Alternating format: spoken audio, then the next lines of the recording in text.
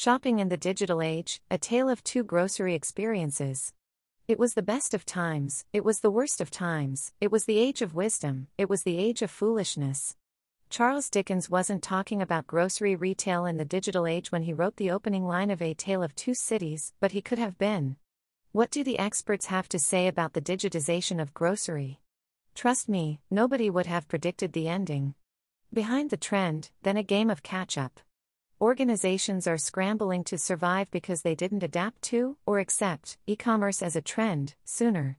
John McCoy, Global Vice President, Customer Experience Advisors at SAP, noted that over the last few years, there's been an interdepartmental battle of sorts within companies between e commerce and the rest of the divisions, as they fought the concept that the digital consumer was as important as the in store consumer and would continue to be increasingly important in the future.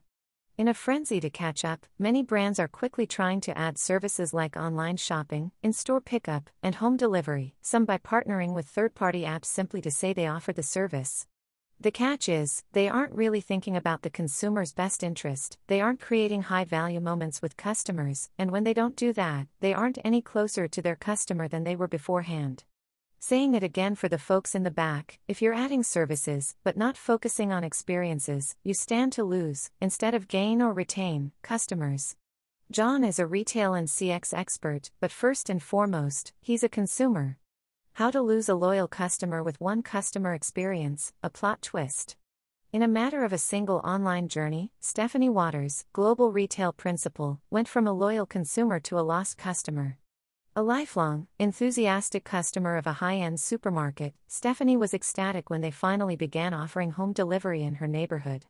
She went online expecting an outstanding customer experience, and to say that the retailer underperformed would be a kind summary. A fervent believer that a certain low price retailer was one that he would never use, John spent most of his life rabidly opposed to them until he and his wife began to research grocery options in their city. Reluctantly, he gave them a try, Today, their family spends over 90% of their food budget with that retailer. The differences between their experiences couldn't have been more stark, and it all came down to a key point. One retailer offered check the box services, but a poor customer experience, while the other looked at the customer with a 360 degree lens and used data to engage and delight. A revolutionary change, grocery retail is swept up in the tide. So, what did these grocery retailers get so right and so wrong?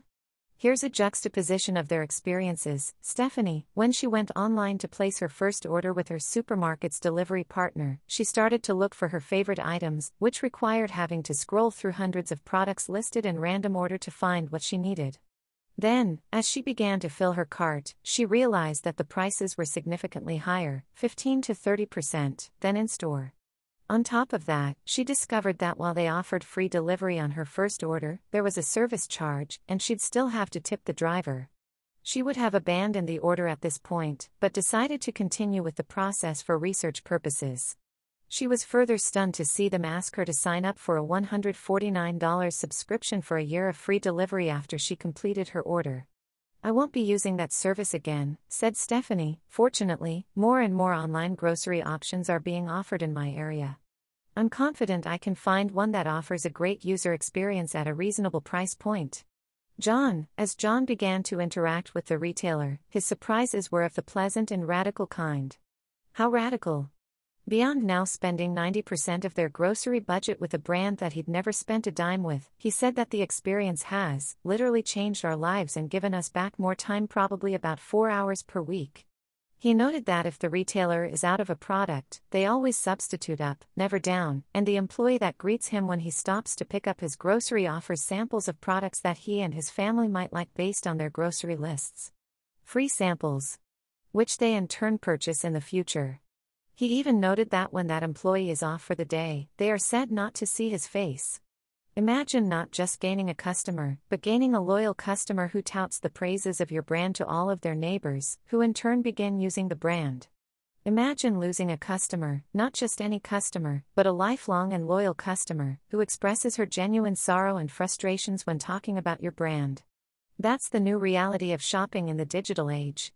The key difference is that one brand retained their customer data and used it to provide outstanding experiences for their customers every single time that they engaged with them, while the other served up a lackluster, Far more expensive option without ever following up or realizing that their customer was gone. That's the world we live in now.